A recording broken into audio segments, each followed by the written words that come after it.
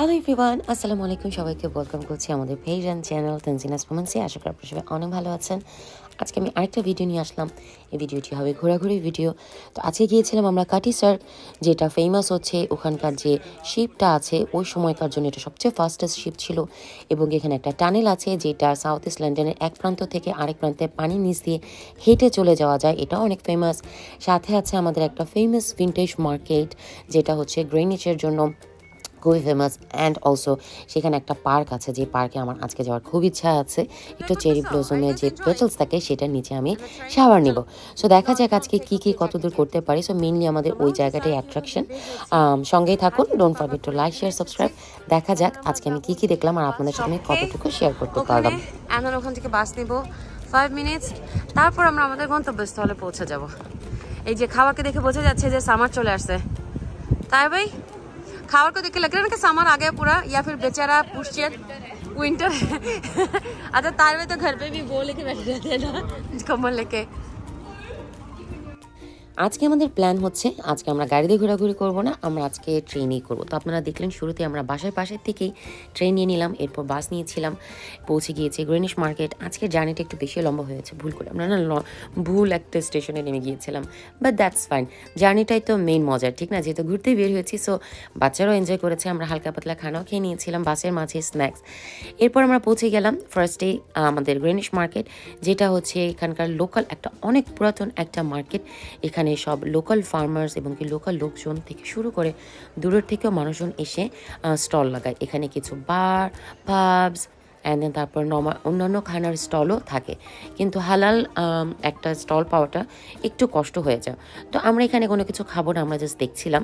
আর দেখতে দেখতে যা দেখতে পেলাম অনেক সুন্দর সুন্দর ডিফারেন্ট জুয়েলারিস ডিফারেন্ট হাতে বানানো উলের শল কার্ডিগান বিব অ্যান্ড দেন তারপর হ্যান্ডক্রাফট ঘর সাজানোর জিনিসপত্র, আর লোকাল কিছু মানুষজন যে এখানকার লোকাল কাপড় দিয়ে যে ড্রেস বানায় ডিজাইনার ক্লোথ সেগুলো। কিন্তু ওগুলো না বেশ ভালো দামি ছিল। আমি দেখতে পাচ্ছিলাম যে নর্মাল হাই স্ট্রিট থেকে যদি আমরা কোনো কাপড় চোপড় নিই, তাহলে এতটা এক্সপেন্সিভ হবে না। কিন্তু ওই যে, হাতে হাতে বানানো জিনিস, যেটা আমাদের দেশেও তাঁতের কাপড়ে আমরা জিনিসটা কাপড়টার দাম বেশি রাখি। আমি এই কাপড়গুলোর কথা বলছি না, কিন্তু এগুলো হাতে বানানো ছিল ডিজাইনার, কিন্তু কাপড় এখানকার লোকাল না। আর এখানে দেখেন কি সুন্দর সুন্দর কাপ ক্যান্ডেল মানে কাপের ভেতরে ক্যান্ডেল করে রাখা। এগুলো এক একটা পঁচিশ থেকে তিরিশ পাউন্ড মানে বাংলাদেশি টাকায় প্রায় তিন হাজার, চার হাজার টাকা করেছিল একটা ছোট্ট একটা কাপ। সো এগুলো ওরা যে নিয়ে বসে, কে কিনে বা কে কিনবে, আমি তো কিনবো না। কিন্তু যারাই কিনুক, না কিনলে এদের দোকান কিন্তু চলবে না। আর এই যে শলটা, এই কালারের আমার এত মনে ধরেছিল ফিফটি ফাইভ পাউন্ড ছিল। ভাবলাম যে থাক, আজকে আর না। আর এই কানের দুলগুলো যে দেখছেন, পঞ্চাশ পাউন্ড জি, বাংলাদেশি টাকায় প্রায় সাড়ে পাঁচ হাজার, ছয় হাজার টাকা। এগুলো হচ্ছে একদম রিয়েল পাতা থেকে ওগুলোকে কাস্ট করে কীভাবে, কি প্রসেস করে ওরা বানিয়েছে। এই যে আরেকটা আমার বাচ্চা যে জায়গাতে চোখ আটকে গেল সেটা হচ্ছে এরকম প্লাস্টিকের কিছু। জিক্সো টাইপ তারপর দেয়ালে, তারপর উইন্ডোতে টাঙানোর জন্য খুবই সুন্দর সুন্দর জিনিস ছিল। তো খাবার সাহেব হচ্ছে যে, কোনো জায়গায় এক জায়গায় তার পা টেকে এরকম কোনো জায়গায় গেলে, ও শুধু তাড়াতাড়ি আগে আগে চলে যাচ্ছিল। আর তাহের ভাই ছিল উল্টা। উনি আবার প্রত্যেকটা দোকানে ঢুকে ঢুকে প্রত্যেকটা কাপড়, প্রত্যেকটা জিনিস দেখছিল। উনি আবার কাপড় চোপড়ে খুব শৌখিন মনে হচ্ছিল। তো খাবার বলল হ্যাঁ তাহের ভাই কাপড়ের খুব শৌখিন টাইপের মানুষ। তো উনি ঢুকে প্রত্যেকটা টাইস অ্যান্ড এটা, সেটা দেখছিল। আর আমি দেখছিলাম ঘর সাজানোর টুকিটাকি জিনিসপত্রগুলো। আমার খুব ভালো লাগে এই জিনিসগুলো দেখতে স্পেশালি হ্যান্ডক্রাফটেড কারণ আমি ছোটোবেলায় খুব হ্যান্ডক্রাফটের জিনিস করতাম আমার দাদা করতেন। কিন্তু বড় হয়ে যাওয়ার পর এখন আর সময় হয়ে ওঠেনি। আবার হয়তো যখন বাবুরও বড় হয়ে যাবে তখন হবে। তো এই যে একটা দোকান এই দোকানে আমার একটা কোর্ট সেট খুব পছন্দ হয়েছিল গ্রিন কালারের যে ডান পাশে যেটা প্রিন্টেড দেখা যাচ্ছে। তো নেওয়া হয়নি। That was ninety five pounds আর তাহের ভাই দেখছিল টাই ওনার টাই খুব পছন্দ ওনার সব ধরনের নাকি কালেকশন আছে। ওখান থেকে বের হয়ে আসার পর দেখতে পেলাম এই ড্রাগনগুলো ছোটোটা ছিল ছয় পাউন্ড দেখেন বড়টা তেরো পাউন্ড মানে এই যে এরকম উলের যেটা রডের মানে রড না, গুনার মতো আর কি, ওটার ভিতরে এরকম প্যাচানো থাকে অ্যান্ড এক্সেসরিজ দেওয়া থাকে, নিজেরা নিজে বাচ্চারা বানাতে পারবে। তো আমরা এখান থেকেও নিয়ে নিলাম যে কি করা যায়, কীভাবে বানা যায়। হেয়ার ব্যান্ডও ছিল এরকম ছোট ছোট। আর আমাদের যায় না যত ধরনের অর্নামেন্ট আর জুয়েলারি দেখছিল, ওখানে দেশ দেখেই যে বলছিল মামি, আমি এটা নেব, মামি, আমি এটা নেব। তো আমরা ওখানে বেশ কিছুক্ষণ না, অল্প কিছুক্ষণই ঘোরাঘুরি করেছিলাম। খাওয়া দেখছিলাম যে, মুড অফ হয়ে যাচ্ছিলাম আমরা ওখান থেকে বের হয়ে চলে আসলাম।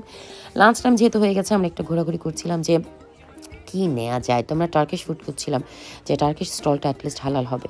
তো দেখলাম এখানে শুটিংও হচ্ছে। তো শুটিংয়ের এখানে আমরা কিছুক্ষণ দাঁড়িয়ে ভাবলাম ক্যামেরায় কি আমাদেরকে নেয় কিনা তা দেখলাম না, ক্যামেরায় নেয় না। তাহের ভাই তো সুন্দর দাঁড়িয়ে গিয়েছিল পোজ বানানোর জন্য। তা যাই হোক, আমরা এখান থেকে চলে আসলাম। দেখলাম যে অনেক অনেক অনেক স্টল অনেক ভিড় ছিল। এখান দিয়ে পুরসিয়ে নিয়ে ঢুকে বের হওয়ার সময় আমাদের ভাবি হারিয়ে গিয়েছিল। মানে উনি পিছিয়ে পড়ে গিয়েছিলেন। তো আমরা ওখান থেকে বের হয়ে গিয়ে খাবার খেয়ে অ্যান্ড দেন তারপর এমএনএস থেকে আমরা নিয়ে নিলাম স্ট্রবেরি মিল্ক শেক আর তার ভাই নিয়ে নিয়েছিল এমএনএস থেকে একটা বিশাল বড় বড়, মাত্র ছটা নাকি আটটা খেজুর। খেজুরটা না আমাদের আমাদের দেশের যে খেজুরের গাছের খেজুর হয় মানে এরকম খেজুর তো হয় না, কিন্তু পেকে যাওয়ার পর যে টেস্ট এক্স্যাক্ট ওই টেস্টটা ছিল। পার্থক্য এতটুকু ছিল যে অনেক মাংসে ভরা ছিল। আমি ওটার ফুটেজ তার নিতে পারিনি, আমি ভুলে গিয়েছি, আমি খাওয়াতেই ব্যস্ত ছিলাম। আর এই হচ্ছে সেই মিউজিয়াম এটা হচ্ছে সেই শিপটা যেখানে টিকিট নিয়ে ভিতরে ঢুকতে হয় কিন্তু আজকে আমরা আর ঢুকিনি কেন ঢুকিনি জানি না কারণ আমরা এটা দেখে হাইপার হয়ে গিয়েছিলাম যে এটা আমরা মাটির নিচে গিয়ে দেখব যে এটা মাটির নিচে কেমন দেখতে তো আমরা যাওয়ার সময় হেঁটে হেঁটেই গেলাম মাটির নিচে দেখার জন্য down. Oh, that's the tunnel. That's the tunnel.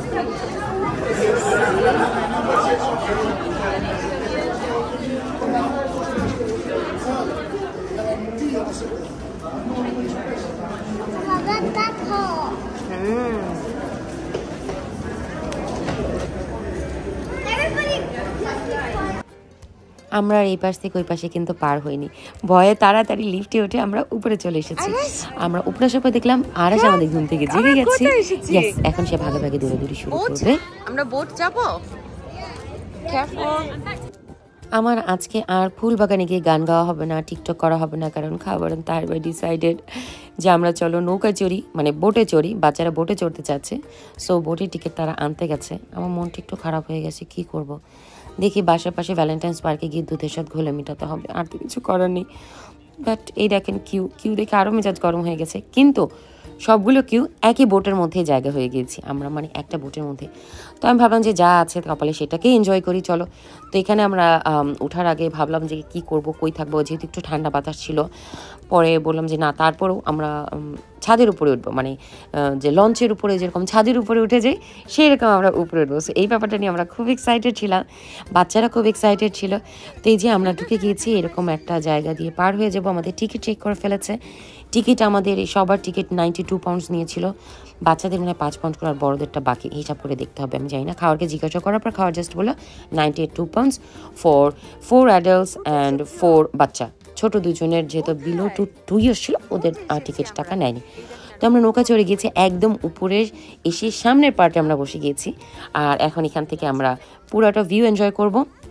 আমরা এখানে গ্রেনিশ থেকে উঠেছি নর্থ গ্রেনিশ থেকে হ্যাঁ এটা সাউথ গ্রেনিশ এখান থেকে আমরা যাব হচ্ছে ওয়েস্টমিনস্টার সো এই লম্বা একটা জার্নি ছিল, প্রায় এক ঘণ্টার মতো এক ঘণ্টা নাকি চল্লিশ মিনিটের মতো জার্নি ছিল। খুবই সুন্দর ছিল, খুবই এনজয় করেছি। বেশ কিছু ছবি নিয়েছি টিকটক করতে চেয়েছিলাম কিন্তু টিকটক করা হয়নি। আমার মোবাইলে চার্জ শেষ হয়ে গিয়েছিল সেকেন্ড ফোন বের করতে হয়েছে যেখানে সিম কার্ড ছিল না। মানে আমার আজকে দুঃখের কথা কি বলব? তো তারপরে খালি জাস্ট পিকচারই নিলাম, সবার পিকচার নিলাম, সেই পিকচারগুলো আমি শেয়ার করব আপনাদের সাথে। আমার ফেসবুক পেজে যারা ফেসবুক থেকে দেখছেন, তারা তো অলরেডি দেখে ফেলবেন ছবিগুলো। সো এটা ছিল Uber boat this is the fastest way to travel in between London basically যে বাস আর ট্রেনের থেকেও এটা যায়। তো অনেক মানুষই আজকাল এই উবার বোটটাও ইউজ করে থাকে রেগুলার ট্রান্সপোর্টের জন্য তো লন্ডন ব্রিজের কাছে আমরা কাছে চলে এসেছি আর দেখেন খাবারও আজকাল ছবি নাই এরকম জিনিস দেখলে কে না ছবি নাই বল Oh, sorry. Here. Look, इन दोनों की बना दी Yeah. Here.